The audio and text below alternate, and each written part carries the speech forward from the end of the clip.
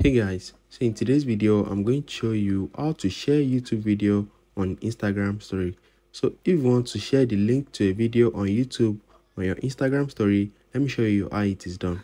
So the first thing is open your youtube application and you need to click on the video that you want to share. After that click on share and you're going to see the option to copy the link to the video.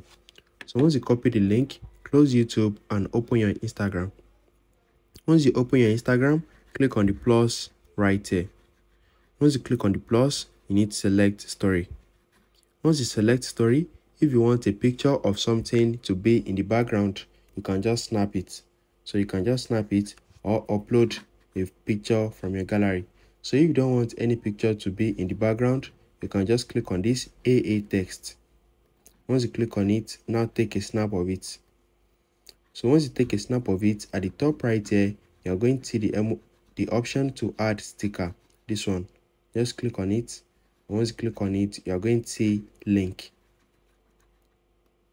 Once you click on it you need to paste the link that you copied right here. So once you paste the link just click on done. And it's going to add the link to the video.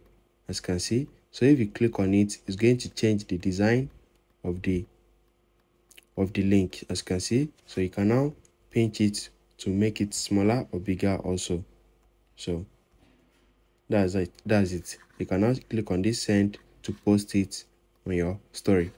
So if you found this video helpful smash the like button and subscribe to my channel for more amazing videos like this. Thanks for watching guys